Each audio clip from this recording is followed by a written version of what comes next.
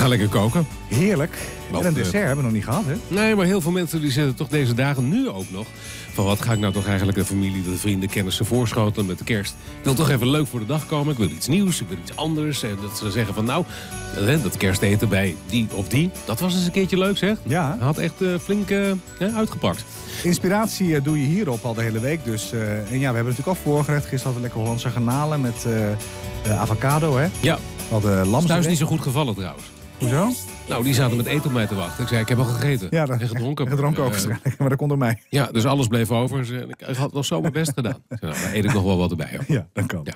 Eh, maar goed, het eh, dessert hebben we nog niet op tafel kunnen zetten. Dat gaat vandaag waarschijnlijk gebeuren. Het is, ik heb het net al eventjes mogen horen van, eh, van Roy Kramer. Roy, welkom. Leuk dat je er bent. En eh Corrie natuurlijk ook, van de restaurant Silver in Lelystad.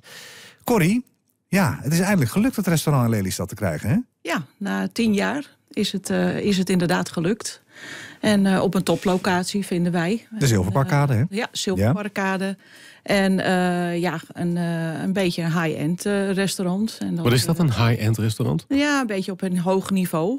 Eh, we willen ook eh, naar een hoog niveau. Eh, in ieder geval eh, de Lekker en eh, misschien straks de Michelinster. Nou, de Michelinsterren Oh. zijn natuurlijk pas uitgedeeld. Hè? Vorige, klopt. deze Dat week, hè? Begin deze Ja. week was dat maandag? Ja, dat klopt. ja. Zat je niet Dus, bij? nee, daar Nee. zaten we nog niet bij. Nog niet, zeg. Nog niet bij.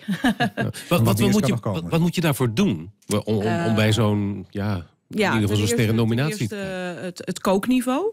Ja, Dat, eh, dat moet op een heel hoog niveau zijn. ja. Eh, je moet een eh, rijkelijk eh, assortiment aan wijnen hebben. Mhm. En Ook eh, ja, een sommelier om Ja. eh, de kennis eh, over te dragen naar je gasten. Mhm. En eh, vervolgens, eh, ja, eh, het hele plaatje moet compleet zijn met het interieur en Ze alles. zijn heel streng, hè? Zijn heel streng. Ja, je krijgt niet zomaar een sterretje. Nee, Nee. ze kunnen hem je ook wel zo weer afpakken.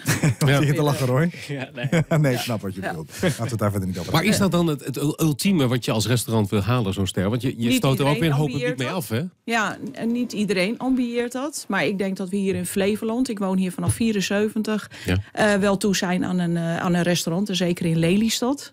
Eh, op, een, op een ander niveau. En we hadden natuurlijk Ook- een dijkhuisje in Lelystad. Ja. Dat was, dat was heel Mhm. goed en dat is helaas vertrokken. Dat is jammer. Ja, dat klopt. dat was ook is een van de betere jaar, eh, is dat weg. Ja, En eh, voorheen hadden we de raadskelder in Lelystad. oh ja. Dus van Don Gaarzen. Ja. En daar heb ik zelf nog gewerkt als chef-kok ooit. Mhm. En ja, we- er ontbreekt wat aan een stad als deze. Maar je hebt, je hebt, kijk, het is natuurlijk hartstikke leuk dat je gaat voor die, voor die Michelinster. Dat is ook logisch. Dan heb je de jongste chef-kok van Nederland. Heb je helemaal geïmporteerd vanuit Friesland.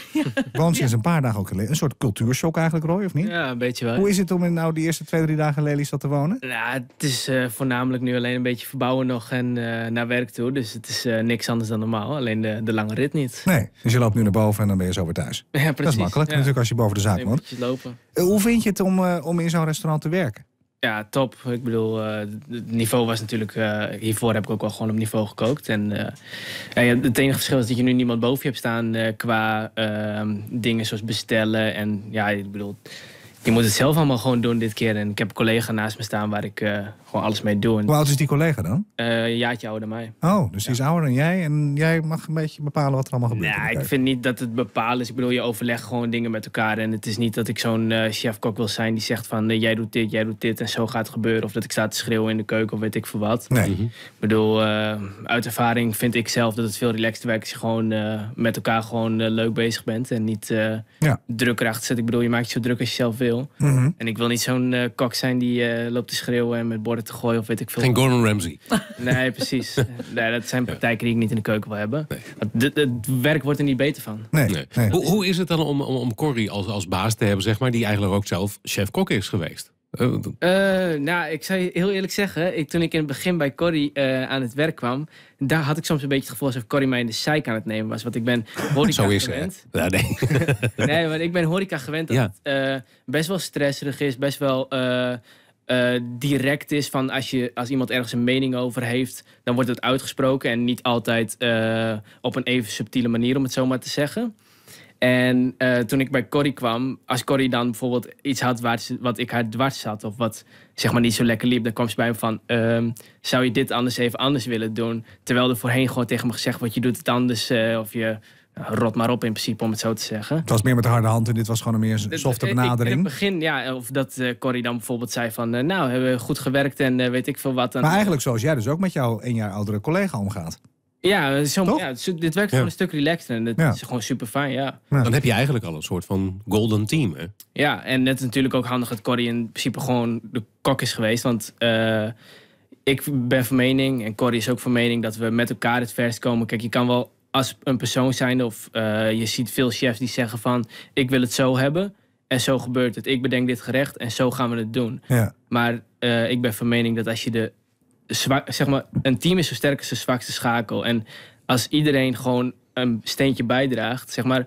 Je hoeft niet een heel gerecht te bedenken, maar als je kan zeggen van ik vind dit ook lekker erbij. Mhm. En we gaan nadenken met z'n allen. Mm. En denken van, oh, wat als we, wat jij vindt dit lekker, wat als we dit er nou bij doen, of we gaan dit ervan bereiden, dan kom je misschien toch nog op een beter gerecht. Als je Ja. met elkaar gaat eh sparren, dan kom je gewoon een stuk verder. Ja. En dat Ja. is gewoon hoe we werken met z'n allen. Maar is het voor jou niet, want je je bent natuurlijk nog heel erg jong en dan zit je nu al in het high-end restaurant. Eh, Je kan me ook voorstellen dat je begint bij een eetcafé en dat je dan als kok denkt, nou, ik ga nog even lekker een stapje hoger en nog een stapje hoger. Maar nu ben je eigenlijk al bijna bij de eindstreep. Ik ben vroeger wel, eh, dat is hoe mijn horeca carrière maar vroeger, je bent begonnen is. 21. eh. Ja, vroeger, vroeger klinkt zo oud, Ja. hè? Nee, het- ik ben heel vroeg van school afgegaan, omdat ik was niet zo'n zo'n leuke leerling, om het zo maar te zeggen. Oh jee, Dus ik ben zonder, zonder ehm, diploma. VMBO, ja, Oh ja. VMBO-diploma ben ik eh, naar het MBO toe gegaan. Mhm. En, eh, daar ben ik eh, op niveau 2 begonnen. Ja. En daar had ik een stageplek. En dat was dus een eetcafé, wat je zei. Mhm. En daar eh, mocht ik eigenlijk alleen maar abas en frituren en eh, weet ik veel wat. Nou, niet dus. Nee. Gewoon stagiaire kok. en ehm, Ja, je moet ergens beginnen. ja, dat is zeker zo. Maar het was zo, dat bedrijf dat stond op stagiaires. Zeg maar, het was een keuken die gewoon ontzettend klein was. Maar er stonden wel zes stagiaires in. Oké. En de ene die wa- was voor de afwas, de andere kon de wasjes draaien. Dan kon de ene... eh werd een beetje misbruik er gemaakt van- Hartstikke misbruik Ja. gemaakt. Ja. Maar dat is wel het begin geweest van mijn horeca-carrière. Want omdat eh, er was toen ooit een keer een feestje in, eh in Drachten. Nacht van Drachten noemden wij dat.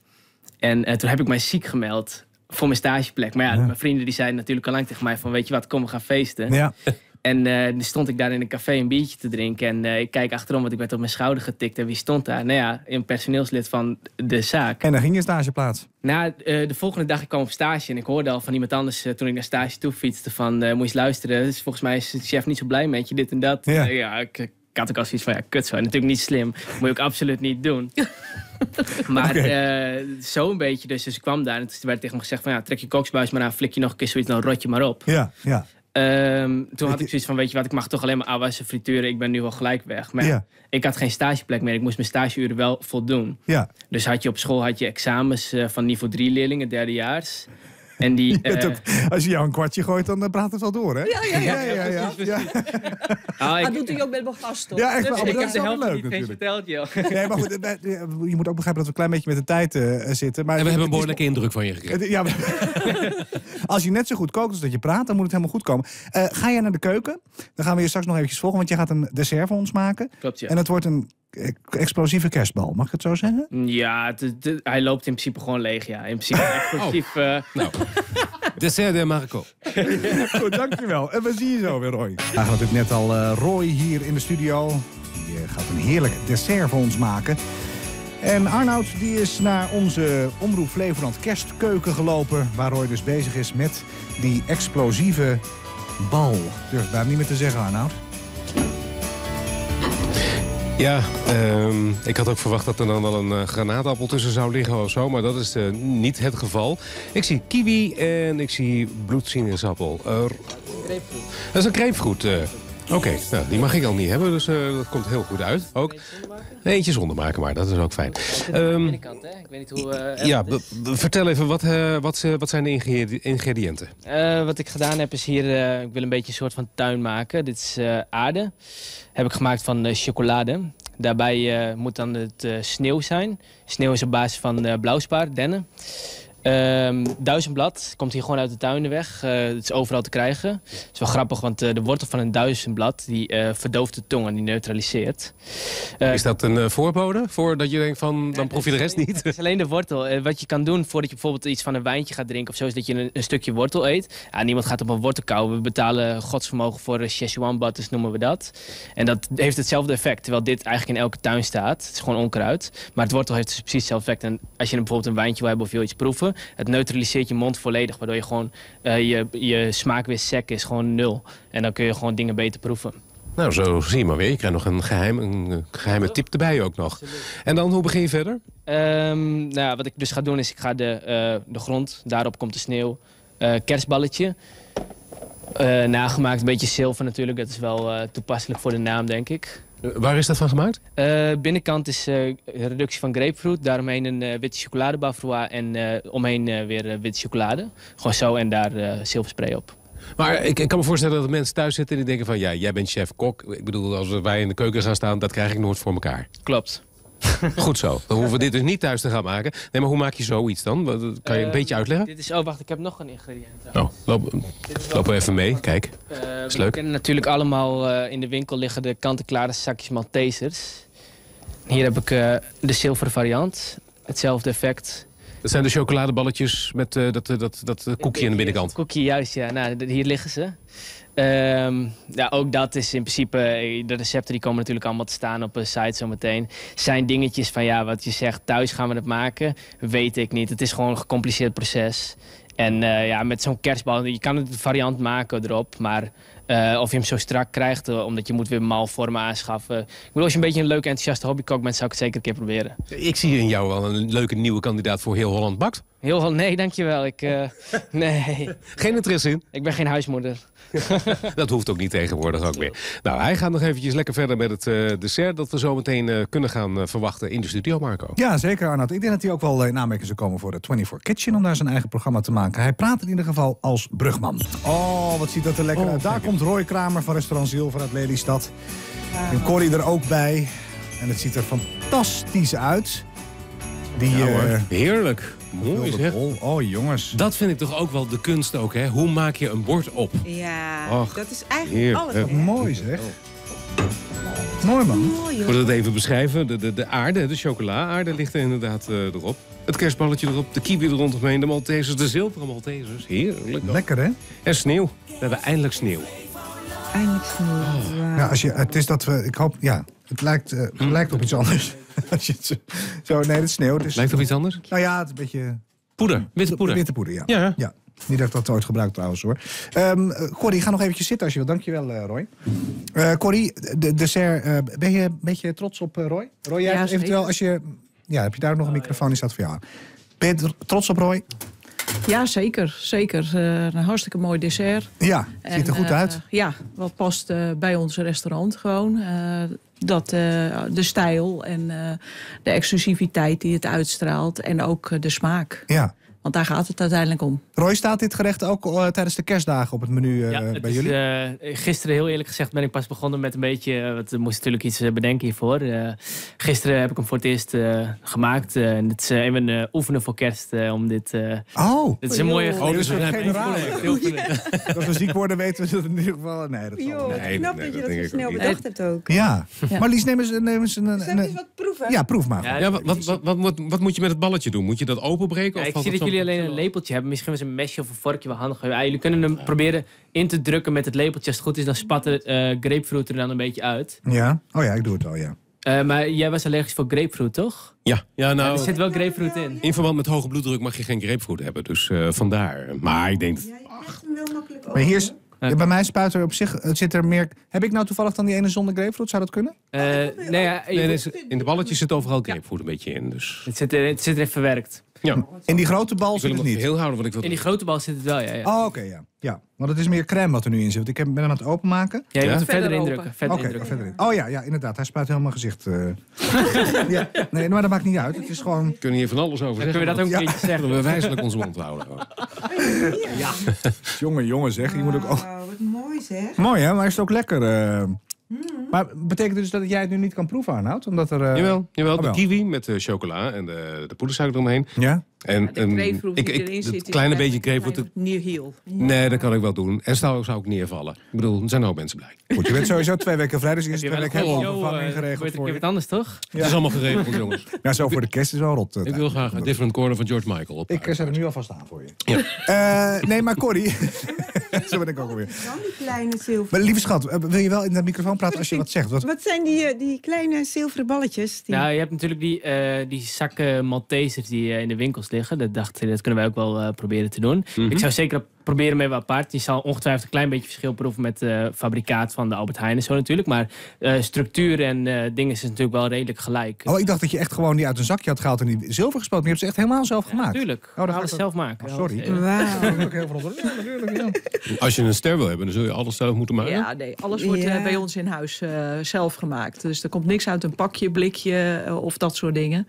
En Nou. we zijn eh, tegen op eh, waste, dus, Mhm. Ja. ook afval en eh, geen... eh, Afval verwerk je ook 100%. weer in het eten. Ja, Ja, dat is ja. sowieso een dingetje inderdaad. Dat- Wat ik wel heel bewust mee bezig ben, is dat eh, als je bijvoorbeeld een groente hebt, of een stukje vlees. Kijk, eh, als je een vis bestelt, dan hou je de graten over. Mhm. Als je vlees bestelt, dan hou je de vliezen over, de botten over. Groentes hou je de schillen over. Maar al die dingen die kun je weer gebruiken. En ik wil gewoon een keuken creëren waar je eigenlijk 0% weggooit. 0% zal nooit helemaal lukken. Nee. Maar in ieder geval zo weinig weggooit dat je je graten gebruikt, dat je je botten gebruikt, dat je je schillen gebruikt, dat je alles gewoon gebruikt. Want het, het kan wel ergens. Duurzaam. Nou. Hey, wat voor ijs is het? En Het is ijs oh. van eh, kiwi en eh Lelystad spraakwater. Lelystad. Toch een beetje het Lelystad. Dat is ook leuk, hè? Omdat er in het... creëren. Ja. Ja, dat wilde ik ook vragen. Doen jullie ook veel lokale dingetjes gebruiken, Ja, zeg maar? ehm, eh, ja, ik ben hier natuurlijk nog niet zo bekend. want Ik kom zelf uit Friesland. Maar we proberen wel inderdaad eh, regionaal wat dingen te, hier en daar. eh, we hebben veel nu met de- biologische boeren, hè, hier in Ja, Lelystad. absoluut. En dat is hartstikke mooi. En daar moeten we misschien een beetje goed naar gaan kijken... van waar kunnen we misschien samenwerking aan eh, Ja. mee gaan. Want dat vind ik gewoon leuk. Want dat je hebt ten eerste leuk. dat je niet... eh, dat het overal van de wereld weg moet komen. Transport en zo. Gewoon eh omcel je daar gewoon heel erg mee. En je bent gewoon goed voor je regionale boeren. Wat ook belangrijk is in deze industrie tegenwoordig. Nou ja, je geeft Ja. zilver daarmee ook natuurlijk een mooi Flevolands gezicht. Ja. Ja, eh, zeker. Ja, Absoluut. dat is zeker ook de bedoeling. Daar kan je je echt mee onderscheiden ten opzichte van de rest eh, van Nederland. Ik Ja. bedoel, alle regio's zullen dat een beetje hebben. Maar ik, ik kan me zo niet voor de geest halen dat wij echt een restaurant hebben met een, met een Flevolandse uitstraling.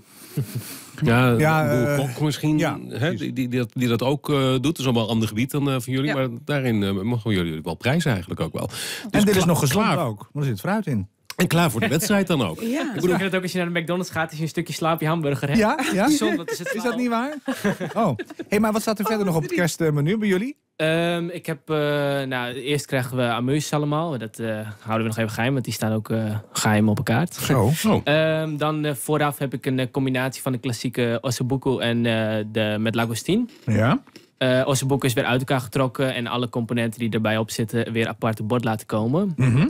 Dan gaan we naar een eh, tussengerecht met zeeegel en een gazpacho van eh, komkommer en eh, augurk. Lekker. Eh, tussengerechtje met zeewolf.